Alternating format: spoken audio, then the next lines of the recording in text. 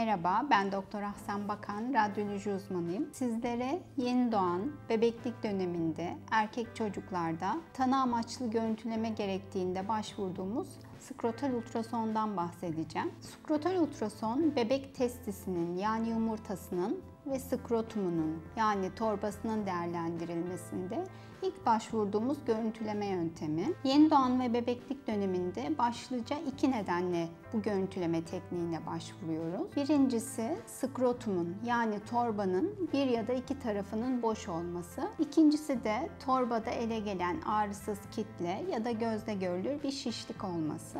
İlk duruma yani torbanın bir ya da iki tarafında yumurtanın olmaması durumuna inmemiş testis adını veriyoruz. İnmemiş testis prematüre, erken doğan erkek bebeklerin yaklaşık %21'inde görülürken zamanında doğan erkek bebeklerin %3 kadarında görülür. Biz ultrasonla yumurtanın gerçekten torbada olup olmadığını görüntüleriz öncelikle. Şayet değilse yumurtanın yerini araştırırız. Torbada olmayan yumurta sıklıkla aynı taraf kasıkta yer alır. Bazen de yumurtayı karın bölgesinde görüntüleriz. Yumurtayı görüntüledikten sonra yumurtanın boyutlarını değerlendiririz. Normalde yeni doğan döneminde yumurtanın boyutu 1,5 santimken 3 aylık dönemde 2 santimetreye ulaşmalıdır.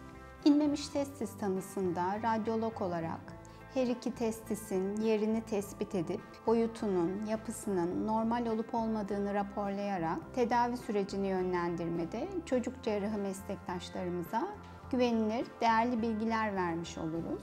Gelelim torbalarda ağrısız şişlik, kitle nedeniyle yaptığımız ultrasona.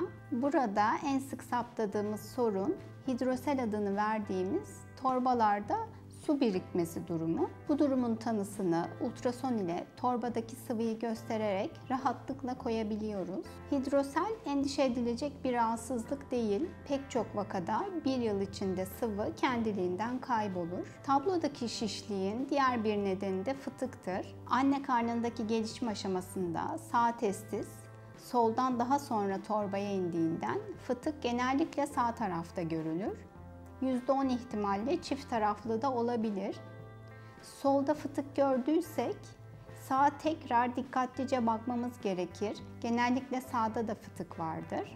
Yeni doğanlarda, erkek bebeklerde skrotum yani torba patolojilerinin değerlendirilmesinde, inmemiş testis, hidrosel, fıtık tanısında, uygulama kolaylığı, radyasyon içermemesi artılarıyla ultrasonun ilk başvurulan güvenilir görüntüleme yöntemi olduğu akıllarınızda kalsın.